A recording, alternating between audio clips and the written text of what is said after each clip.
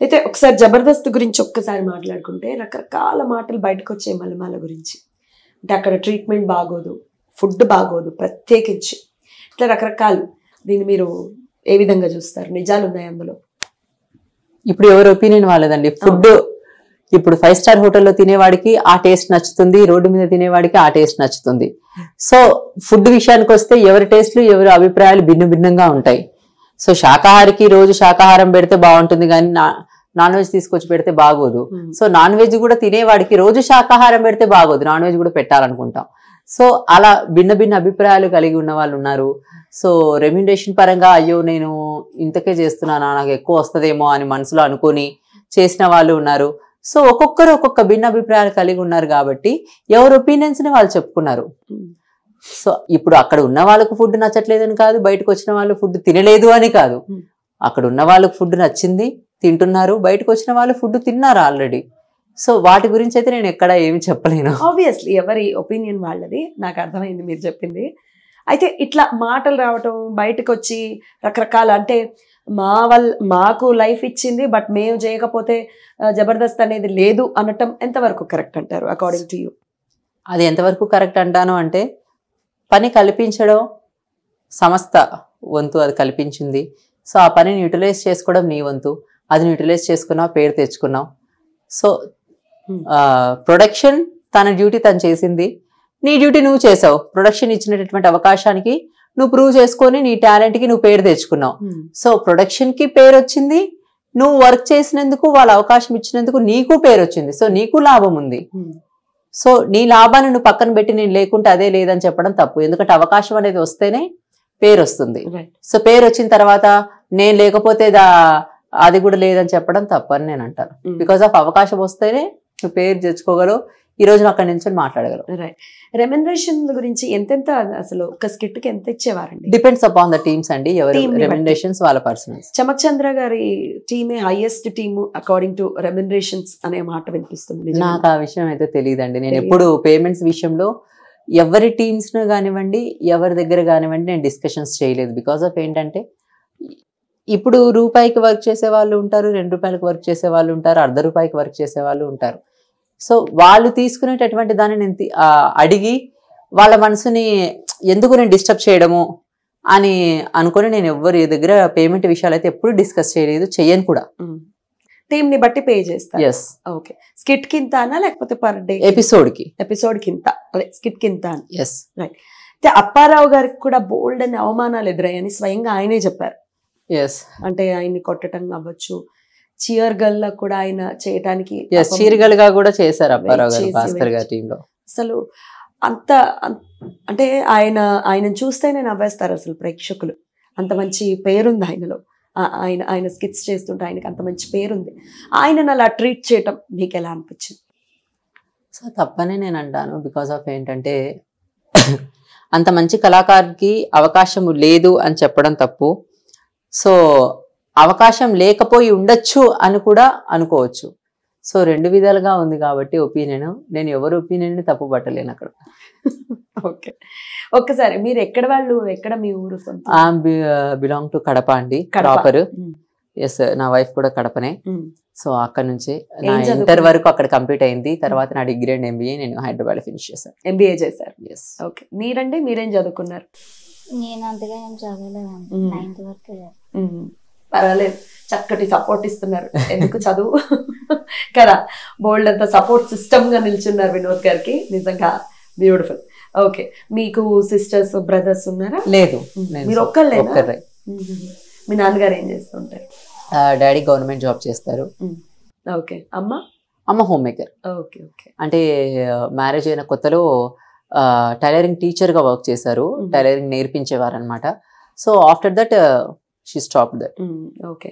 So ఎట్లా acting వైపు MBA చేశారు. యాక్టింగ్ వైపుకి రావాలని ఏంటి? మీ ఇన్స్పిరేషన్ ఏంటి? ప్యాషన్ అంతే. యాక్చువల్లీ నేను. యాంకర్ అవ్వాలనేసి వచ్చాను ఇండస్ట్రీ యాంకర్ అవ్వాలని వచ్చారా?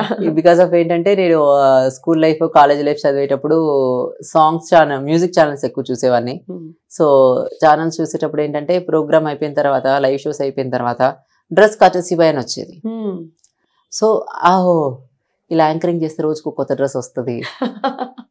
అనేటటువంటి ఒక ఒపీనియన్ ఉండేది అనమాట కొత్త డ్రెస్ వస్తుంది ఆ డ్రెస్ కూడా తీసుకెళ్ళిపోతారు ఉంచరు తెలుసు. అది వచ్చిన తర్వాత తెలిసింది ముందు తెలియదు నాకు.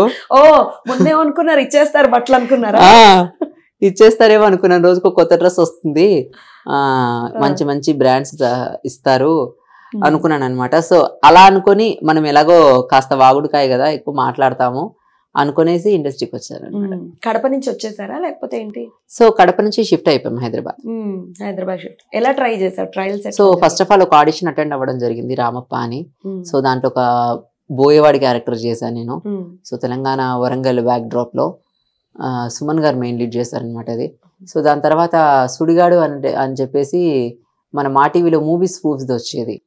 దాంట్లో నేను కయ్యం గారితో అలీ గారి బ్రదర్ కయ్యం గారితో వర్క్ చేయడం జరిగింది. అక్కడ చూసిన వాళ్ళు నన్ను కెవ్ కేక్ రికమెండ్ చేయడం జరిగింది. కెవ్ కేక్లో ఆ, సుమ గారి ఓన్ ప్రొడక్షన్ దాంట్లో ఫస్ట్ లేడీ గెటప్ వేసాను దట్ వాజ్ ద? షో నేను ఫస్ట్ లేడీ గెటప్ వేయటం సో అక్కడ మంచి పేరు రావటం పర్ఫార్మెన్స్కి. దాని తర్వాత ఫ్యామిలీ సర్కస్ ఓంకార్ గారు పిలిపించి జీ తెలుగులో చేయించడం దాని తర్వాత అక్కడ నుంచి తడాకా చేయటం ఈటీవీ. దాని తర్వాత జబర్దస్త్. సో లైక్ దట్ ఇప్పుడు జనాలు జనాలతో ఉండటం. సో అలా జనాలకి తీసుకెళ్ళింది అనమాట బ్యూటిఫుల్ అట్లా జర్నీ సాగింది. యా. ఈ జర్నీలో ఎంతో మంది అయితే ఈ సుడిగాల్ సుధీర్ కానీ మీతో మాట్లాడటం ఆఫ్టర్ దిస్ సిచ్యువేషన్ ఏమైనా మాట్లాడారా? మా మెసేజ్ చేశారండి. ఆది గారు మాట్లాడు మాట్లాడారు? మెసేజ్ లేదు మాట్లాడడం అయితే ఏం లేదు just message message how are you అది యా. అంతవరకే. అంతే. ఓకే అంటే ఎప్పుడు టచ్లో ఉండరా వీళ్ళతో మీరు? టచ్లో అంటే నేను చాలా తక్కువ అండి. నేను? అంటే నా సర్కిల్ నేను ఎక్కువ ఈవెంట్స్ చేసే వాళ్ళతో వాళ్ళతో మాత్రమే ఎక్కువ మాట్లాడుతూ ఉంటాను. కానీ ఫోన్ కాల్స్ అందరికి చేసి మాట్లాడడం అయితే చాలా తక్కువ. ఎందుకంటే లో చేయడం ఎందుకు, work చేయడం. వాట్సాప్లో అంటే గుడ్ మార్నింగ్ గుడ్ నైట్ లేదంటే బర్త్డే విషెస్ ఫెస్టివల్ విషెస్ అవి అయితే చేస్తాను. కానీ రెగ్యులర్గా మెసేజెస్ చేసి డిస్టర్బ్ చేయడం కానివ్వండి ఊరుకూరికనే నేను వాళ్ళతో మాట్లాడడానికి ట్రై చేయడం కానివ్వండి అలాంటివి అయితే ఏం చేయను. ఏం ఆహా.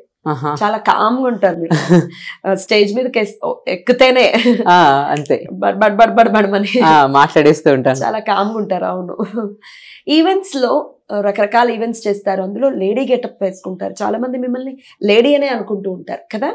ఏమైనా కొంచెం వియర్డ్ ఎక్స్పీరియన్సెస్ ఎప్పుడైనా అయ్యాయా? అయ్యాయి కొన్ని కాలేజ్ ఈవెంట్స్కి వాటికి వీటికి వెళ్ళినప్పుడు ఫొటోస్ అని చెప్పేసి అక్కడ పట్టుకోవడం ఇక్కడ పట్టుకోవడం డ్రెస్ మొత్తం చించేయటం అలాంటివి కూడా జరిగాయి. అయ్యయ్యో హ్మ్. లోపల చూస్తే ప్యాంట్ ఉంటుంది. లేదు గాగ్రా మొత్తం అక్కడికి కిందికి మొత్తం ప్యాచ్ ప్యాచ్ మొత్తం చించేసేసారు. సో అలానే పరిగెత్తుకుంటూ కార్ ఎక్కేసి వెళ్ళటం.